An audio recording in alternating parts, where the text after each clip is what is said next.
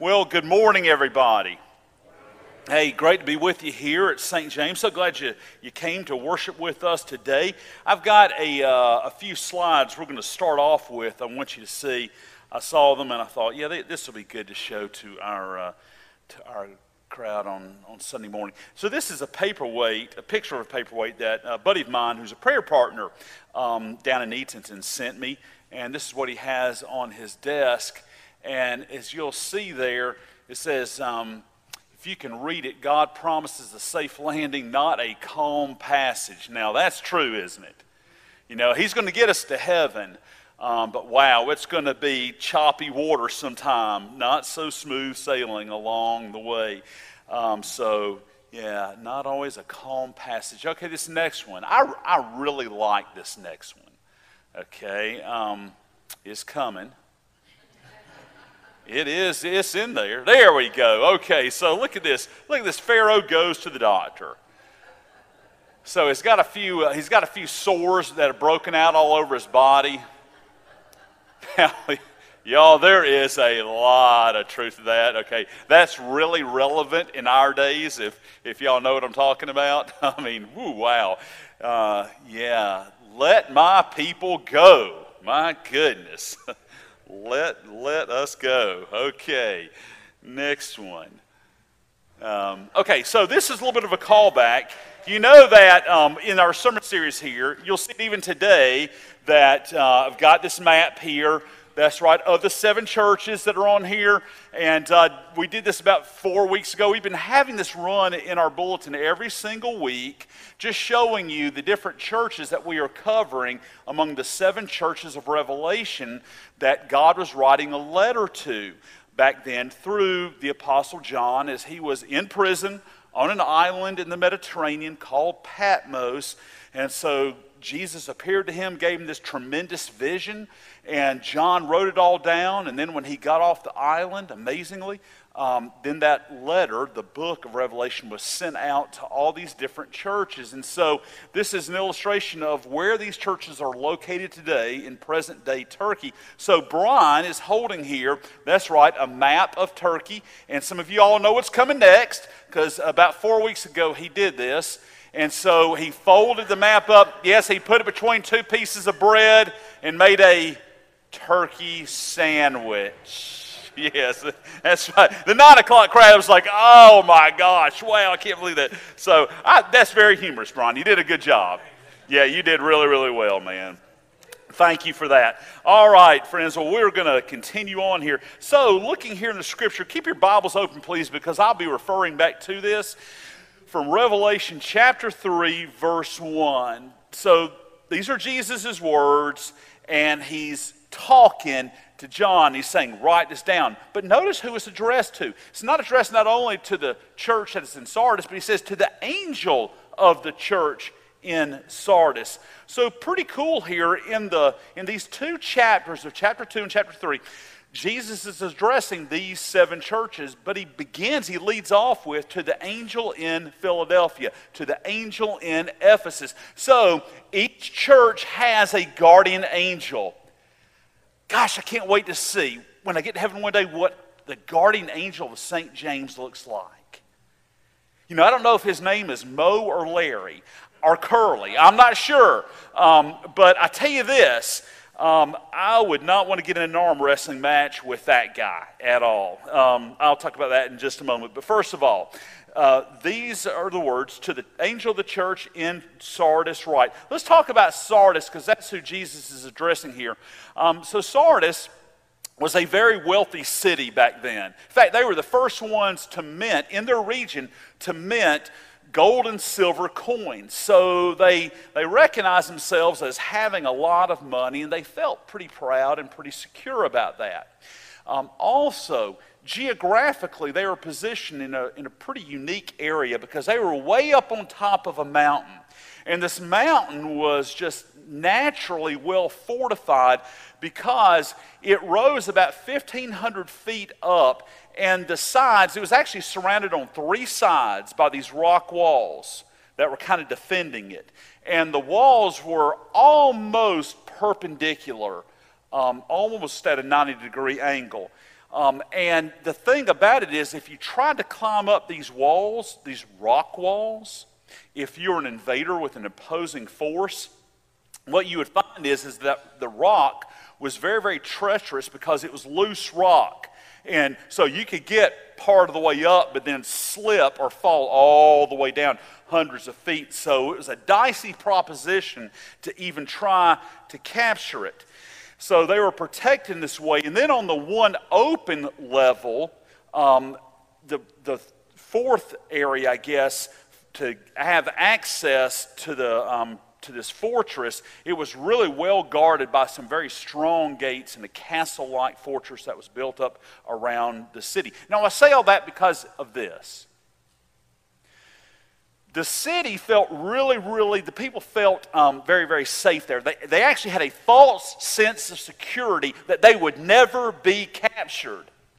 Now, these people who lived in Sardis actually had short memories because twice in their history they had been captured, they had been penetrated, and what happened on both occasions is, like a couple hundred years before this, was that there was a band of 15 raiders that crept up in the middle of the night. They got into a crevice in the rock wall and they scaled all the way up. They got up without falling all the way to the very top. They got over the wall of the castle. And then once they did, they just started walking around, and it was just real easy just to kind of sashay right on over to the city gate and open it up. And then all of a sudden, whoom, all their forces came in and took everybody by surprise because they were sleeping. They didn't even have guards stationed there at night to protect them because they thought that nobody can get in. We're safe. So even the guards were horizontal. Even the guard's head was one of, on one of Mike Lindell's pillows. That's right. Um, and, and, and so they were, they were sound asleep. And that's a good description of this church in Sardis. We'll get back to that. These are the words of him. So this is Jesus saying this. These are my words. Who holds the seven spirits of God and the seven stars. Now, the stars, we talked about this a few weeks ago. The stars are angels. Stars are metaphors for these angels. Um, and so I told you that each one, uh, each church has this guardian angel. So St. James is guardian angel. You know, the Bible says that angels are much bigger and stronger than we are. Um, never met this angel before, never seen him in a vision, um, but you would not want to get into an arm wrestling match with this guy, I promise you, because it would be an L for the day. I mean, he would take you and he wouldn't just simply take your fist down to the table. He could take it through the table and then bam, wood splinters would fly everywhere. So the Bible says that Jesus holds the seven stars in his hand.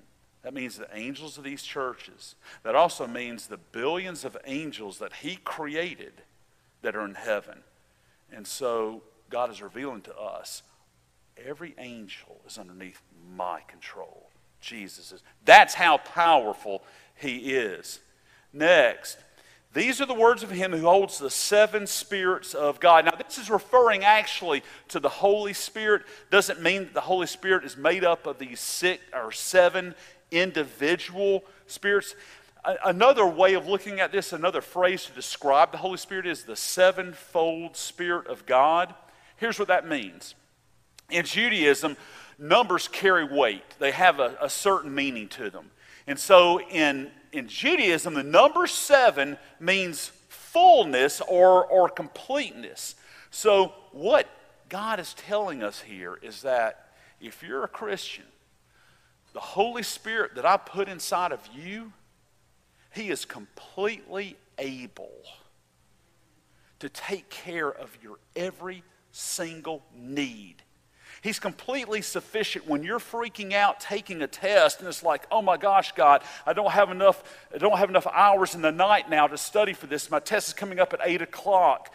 The Holy Spirit is completely good to hear your anxiety and trustworthy to take these concerns that you have and help you through any challenge that you face. He's fully present at all times. You never have to pray ever, the most useless prayer we can pray is, Hey, God, would you come and be with me now?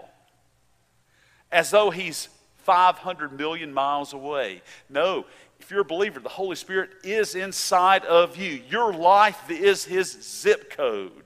He's right here. All you got to do is say, Holy Spirit, help me. And He'll do that. He's full of power, He's full of intelligence. Do you realize the Holy Spirit sees your life?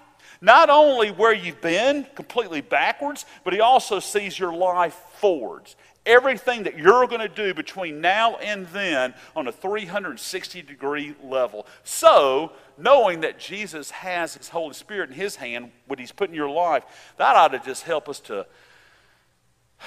exhale and say, God's got this. Doesn't feel like it, but God's got this. Jesus continues, I know your deeds. You have a reputation. He's speaking to the church of Sardis, right? I know your deeds. You have a reputation of being alive, but you are dead. Wake up, he says. Do any of y'all like sardines? Okay, you know, there I didn't get many takers at the nine o'clock service either. I had a couple people raise their hand. One guy surprised me. He's like, "You like sardines?" And uh, my dad used to love sardines. I have memories of him on Sunday night called it trash night. This is where you'd kind of go to the refrigerator and you get all finds all kinds of trash that's in there, leftovers, you know, and you're just heating them up. Well, Dad wouldn't do that. He'd go get a can of sardines. Ugh, so gross. And he would rip the top off of it, and they would, those sardines would all be stacked in there uh, in the oil, and this smells just this pungent smell coming from a can of sardines. Now, what you'll never find is when you open a can of sardines, you're not going to find them flip flopping around there in the can um, you know, trying to swim to get out. Okay, they're all dead. Okay, they're all lifeless. And so I like the way that um, a guy by the name of Ed Love, who wrote a commentary about this, he called this the Church of Sardis the Church of the Sardines. because they were totally dead to God. I mean, they were just completely lifeless. It's interesting about this church. See, this church was the kind that was more concerned about appearances, how they looked to people, rather than how they lived to God. They would have gone to church at 11, at 11 a.m. sharp and exited at 12 o'clock dull. Totally asleep. See, they would have gone, this are the, this, these are the kind of people who would have gone through the motions and they were Christians basically just in name only. They had leaves on their tree, but, but no spiritual fruit. And so they were comatose in their relationship with him. And so Jesus, Jesus is like, wake up, please wake up, because Jesus could sense danger was coming. They were in a very, very perilous position. And I love this about God because it's not hard for us to get in this position where we're just the church of the living dead, where we're just simply sleepwalking, even if everybody else is awake, for us to be fast asleep. And here's how we can so easily fall into this trap. It's one of three ways. One is, um, is that we, we fail, we become numb to God, and we just, we're just lifeless in our walk with God when we fail to take sin seriously when we just don't treat it as a big deal. We, we don't, when we do something wrong, we're not running to God saying, God, would you, would you have mercy? I messed up again. Would you forgive me? See, when you, when you don't do that, when you're not living that way and asking God to kind of clean your heart, then all of a sudden you become dull to the Lord. Um, it's kind of like an example of this is like um, our sins are like a moon on a solar eclipse.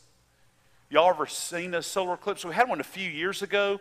You know, if you've actually seen one, we had a pretty good one several years ago. Um, and, and the moon will come, it will just start blocking the face of the sun, right? The moon comes between the orbit of Earth and the sun, and all of a sudden it starts coming, coming, coming, and it completely, at times, it will completely block out the light of the sun. Well, that's what our sins do they'll, they'll block out the presence of Jesus to us, and all of a sudden, we're in the dark. So the sins are like a moon on a solar eclipse. So that will make you sleepy. You don't take your sins seriously. That's one way that we can become like the church of the sardines. Second way is, is that um, we get trapped in a self absorbed lifestyle where life is just all about us. It's what my job that I'm doing, my classes that I'm taking, my career that I'm building for myself, my girlfriend, my boyfriend, whatever it may be. It's all about me, me, me, me, me, me. And then when, you, when that happens, when you get trapped in that, um, you know, all of a sudden you're just totally disconnected from what God is doing all around you. That makes you asleep to God. A third way is not only when we just basically are we're um, stuck on self, or we're we're just saying all this, this kind of sin stuff. It's just not that big of a deal. Too. Number three is, and this is a this is a scary one because this one is real easy to to get get um, seduced by. We become so busy doing things for God that we spend less and less time with God. I mean, it, it's frightening how easy this one can happen. I, I was uh, speaking, I remember um, it, was a, it was a few years ago. There was a, a leader here at St. James, and, and, he's no longer here now, but, but a leader. And, and he was, um, I noticed when he was in ministry, he, he looked really agitated one day. And, and so I took him out to eat lunch and I said, hey, you know, what's going on? And then all of a sudden, oh my gosh, he just started just spilling everything. He just started complaining about, you know, his brothers and sisters in Christ. He started just bemoaning all the fact they are not doing this or they're not doing this. And he was just hypercritical and he was just very, very angry. Um, and it, but, but there was just a, a darkness just around him. It just seemed unusual. And so he just continued on like this for about literally for about 45 minutes. My, my ears started getting started hurting because i was just hearing so much. It's like man i'm i don't know how much more of this i can take. And then all of a sudden i just stopped him and i said hey listen can, can i ask you a question?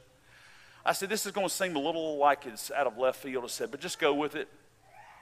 I said how's your prayer time with god? And all of a sudden he stopped talking and it became real quiet in his truck. And he just, he said, I don't have one. He said, It's gone. And you never would have known it had you seen him around church because he was so busy doing a lot of things for God. But slowly through time, this guy who's a Christian, who loved, who did love the Lord, he had just, he replaced the relationship with just activity. And he just forgot about, he went to sleep on Jesus. And so Jesus was saying to him, Wake up, wake up. And so, in light of that, I want to show you this, this picture on the screen. This is something I do. See, I can become like that very easily. So can you, by the way. So can you. And so, you know, we have to put ourselves in these places where we are being nurtured in the faith and we are going to Bible studies, we're going to small groups, and, and we're even doing morning devotions, whatever it takes to get us connected and stay connected to the vine, right, to Jesus. And so this is something that's real easy. I've told you, some of you about this, and uh, I just highly, highly recommend it. It's the best devotional series I've ever um, been a part of or actually um, been connected to. I'm not the moderator, it's actually a guy who I went to seminary with. But you can find this on seedbed.com, and this is so easy. You can get these morning devotions emailed to your box. You can read them, or you can simply click on where it has a little audio button. Click on that, and I listen to it every morning when I come to church, just to make it real, real easy to get the Word of God in my life. And so um, you go to seedbed.com, and right there on the main page, it says Wake Up Call. Now, y'all, this is how easy it is. All you got to do is punch in your, type in your first name, your last name, and your email. And best of all, they don't give your email address to Amazon. They don't give it to Kmart. They don't give it to Walmart. So you're not going to be hounded, okay, because of that. They're not going to sell it to anybody. But um, what J.D. Walt does every morning is in, he starts the devotion by reading Ephesians 5.14. He has the, the seedbed listeners, and there's about 35,000 of us. Um, and what he'll do is he'll go to Ephesians 5.14, and so he starts off with this verse, which says, Wake up, sleeper, rise from the dead, and Christ will shine on you. So wake up. And so I say this out loud because I know I can fall asleep to God. So will you say this with me? Wake up, sleeper. Rise from the dead, and Christ will shine on you. So Jesus is telling the, these people here in Revelation to the church of the Sardines. Wake up, strengthen what remains and is about to die, for I have not found your deeds complete in the sight of my God. Now, um, one thing to understand is, is that, and let me just make sure I say this so that you're not confused. You are never saved by what you do in ministry, ever. Won't happen. Doesn't matter how much good you do. You are not, that's not going to be what gets you to heaven. Um, if you love God, though, really love God, no one will be able to hold you back from doing the things you'll want to do in ministry. To say, Jesus, I'm so grateful. Man, I'm so grateful you went to the cross when you didn't have to. That's what our service is. It's a, it's a thank you to God. So, the church of Sardis was failing in its mission, and Jesus was highlighting that. He's saying, listen, you know, the, the faith that was there is no longer there, it's dying. And because of that, there's no fruit in your life in terms of how you're serving. See, what you'll notice is if you read the, this letter closely, the other churches were persecuted because of their faith. But notice here in Sardis, they weren't persecuted at all. Do you know why?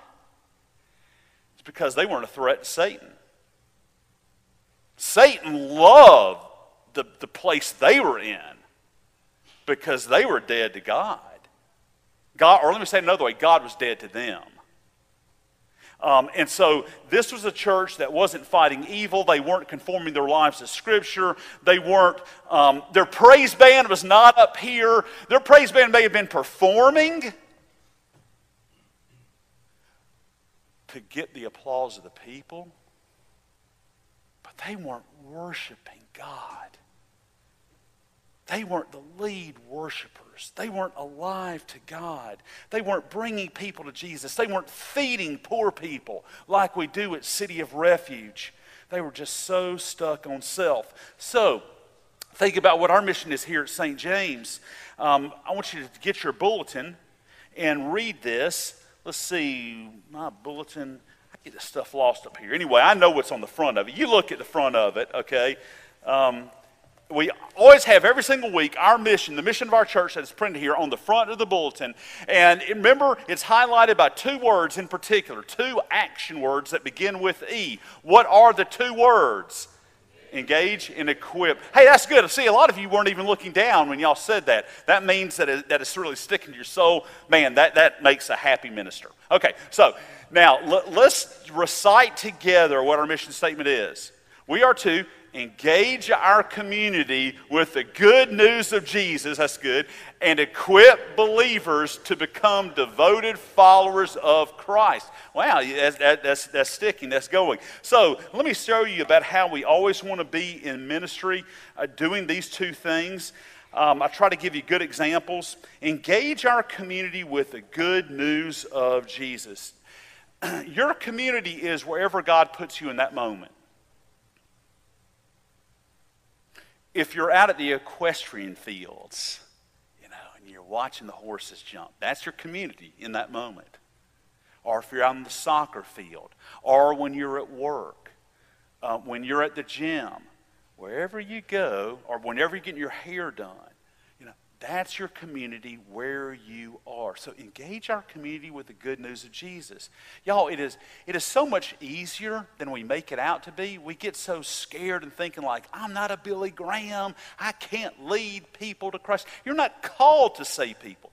You're called to just simply say, tell another person, hey, I got to tell you what Jesus did for me last Friday night. It was pretty cool. You just share with them real quick. 30 second story. Boom, there you go. I, I like what uh, Tim Crow has done. I'll, I'll, use him as an example. Thank you, Tim, for this. Um, Tim, uh, he and his wife, they, they've been fighting a health scare in their family for about five years. And so um, his wife, Deb, uh, she was recently down at uh, Emory Hospital in Atlanta for a couple weeks because she was having some serious treatments down there. And while she was down there getting her blood tested and everything, there were moments, and Tim was right there. He's such a faithful husband. He was by her side, he was with her for two whole weeks. And so during the down times when she might be taken down uh, for x rays or whatever, Tim was just, you know, there. Well, instead of just simply, you know, just catching some sleep, and that would have been fine to do that, you know what Tim did? Tim started engaging his community with the good news of Jesus. So, where was he? He was at Emory Hospital. So, what he did was he took something simple, a picture that he had seen that kind of uh, grabbed his heart one time, a painting up on a wall of Jesus holding some lambs.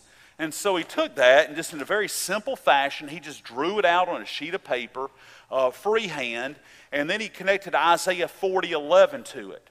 So um, Isaiah 40 11 says this this is a prophecy that was about Jesus that was written 700 years before he came to this world. And here's what it says about Christ Isaiah 40 11 that he tends his flock like a shepherd. He gathers the lambs in his arm and carries them close to his heart. So Tim kind of took that, he, he drew that picture there, very, very simple picture. We've got some of these over here on the altar rail when you leave, when you, if you want to pick one up on your way out.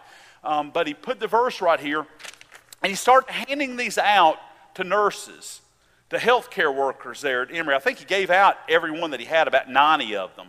And Tim said that a lot of the nurses that he gave them to, he noticed they would kind of pin them up, tape them to their computer. They'd put them in their cubbyhole where they could see it so that when they were there, exhausted after an 11 hour shift and they had one more hour to go, they could look at that picture and remember, you know what? I need to give this patient my best because Jesus is holding them close to his heart.